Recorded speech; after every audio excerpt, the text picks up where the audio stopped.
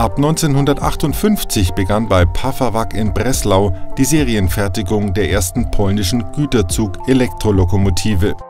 Zwei Prototypen sowie die ersten 18 Serienmaschinen wurden ausgiebig getestet, sodass es bei den folgenden zunächst 70 Exemplaren zu konstruktiven Änderungen kam. Bis 1971 wurden insgesamt 658 Loks dieses Typs ausgeliefert.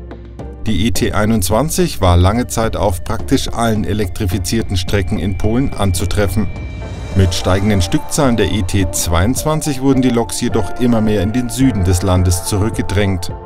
Ursprünglich sollten die ET21 bereits 2002 ausgemustert sein, sie hielten sich aber erheblich länger und stehen bei privaten Verkehrsunternehmen teils noch im Einsatz.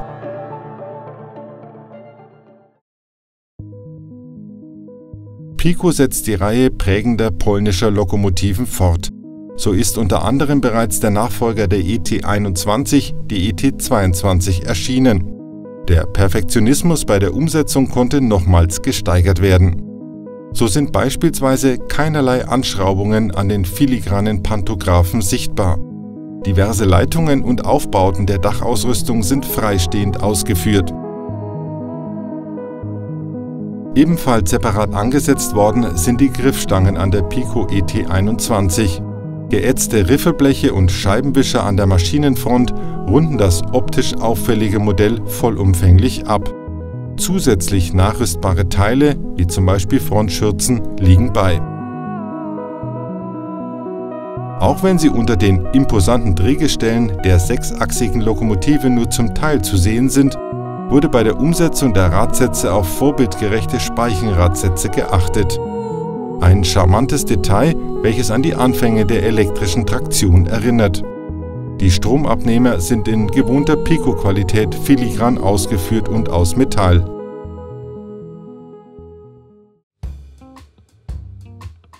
Neben der herausragenden Optik fällt die Pico ET21 durch bewährte raffinierte Technik auf.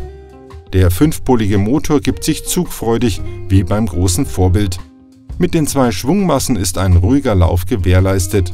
Durch eine Plax 22 Schnittstelle kann die ET21 im Handumdrehen digitalisiert werden. Bei den Sound- und Wechselstromversionen ist ein Decoder bereits verbaut. Durch die vorbildgerecht unterschiedlichen Seitenfenster kann der nachgebildete Maschinenraum bewundert werden. Auf Knopfdruck kann dieser digital schaltbar beleuchtet werden. Wie bei Pico Expert Neukonstruktionen üblich, ist auch die Führerstandbeleuchtung digital schaltbar. Perfekt in Szene gesetzt werden kann das Modell mittels der verbauten Triebwerksbeleuchtung.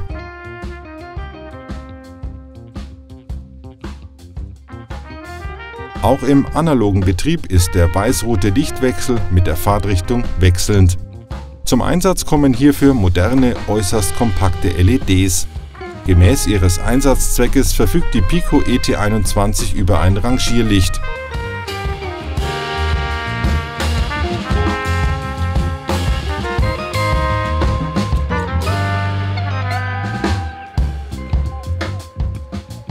Pico wird mit der ET21 ein weiteres Mal den eigenen hohen Ansprüchen gerecht, ohne die Balance zwischen Funktionalität und Detaillierung zu verlieren.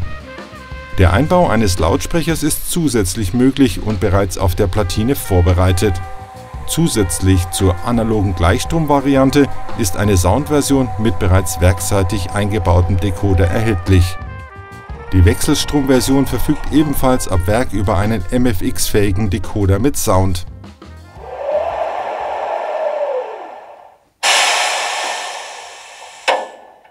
Rudawa, proszę przewód dla 43002. Mechaniku w dojściu pociąg, za chwilkę podam.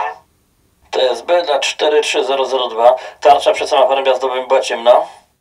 Mechaniku semafor podany, tarcza zgłoszona, do automatyki będą naprawiać.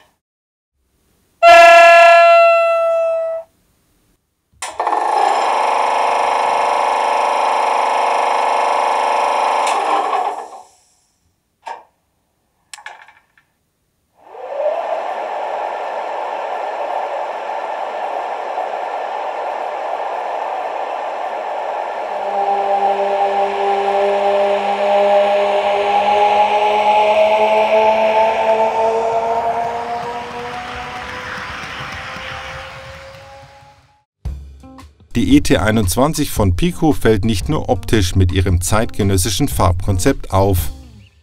Jede nähere Betrachtung offenbart weitere Feinheiten und Details. Das Modell weiß als Blickfang für Sammler zu überzeugen. Für Freunde der polnischen Staatsbahnen stellt die ET21 ein fundamentales Stück polnischer Eisenbahngeschichte dar. Nun kann diese unumgängliche Lokomotive den Modellfuhrpark bereichern.